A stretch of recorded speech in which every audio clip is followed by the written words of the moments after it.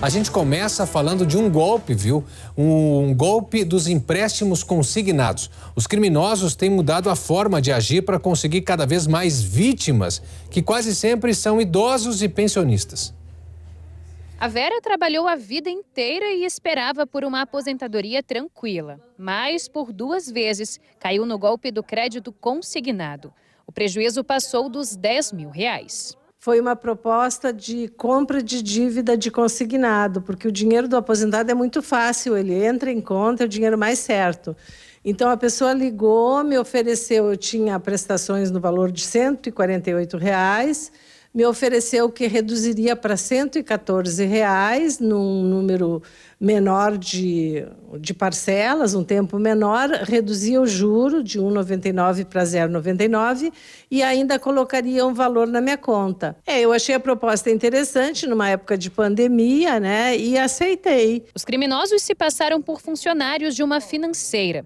Quando a Vera percebeu já era tarde demais. Em abril, eu fui fazer a declaração de imposto de renda e verifiquei que, em vez da redução da parcela, de tudo que havia sido acordado, eles me fizeram um novo empréstimo no valor desses 112, então, e 16. Daí eu liguei para a pessoa que fez o contrato e reclamei. Ele disse: não, me dê sete dias, foi um engano, a gente vai devolver o que foi cobrado irregularmente. E a partir daí não me atendeu mais o telefone. E a Vera não é exceção à regra.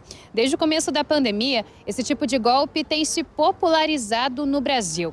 Na mira estão quase sempre aposentados e pensionistas. De olho na chance de conseguir um empréstimo consignado que seja vantajoso, eles acabam caindo na lábia dos criminosos e chegam inclusive a fazer uma série de depósitos adiantados. Da pandemia para cá aumentou. Primeiro que houve muito desemprego, né? Hoje, quase no país inteiro, quem está sustentando a família é o aposentado ou pensionista. Aí a pessoa se vê no sufoco, porque realmente tudo aumentou, tudo ficou muito caro, ele acaba fazendo empréstimo consignado. E quando ele recebe alguma coisa parecida, ele é ludibriado a fazer algo que ele não quis fazer. Em abril, a Polícia Civil deflagrou uma operação contra um grupo criminoso especializado nesse tipo de golpe. Três pessoas que fizeram vítimas aqui no DF foram presas em Canoas, no Rio Grande do Sul. Para se proteger, é muito importante ficar atento e, acima de tudo, desconfiar. Busque negociar com empresas e instituições financeiras confiáveis e não faça nenhum depósito adiantado.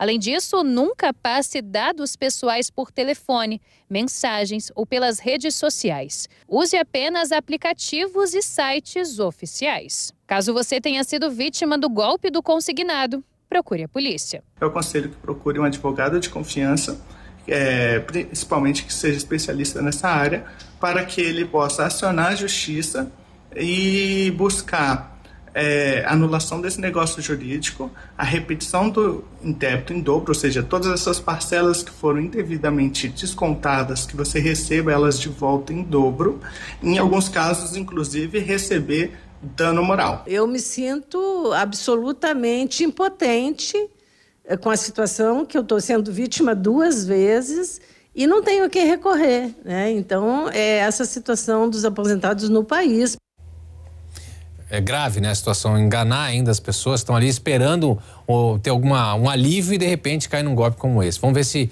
tudo se resolve, se descobre a origem desses golpes.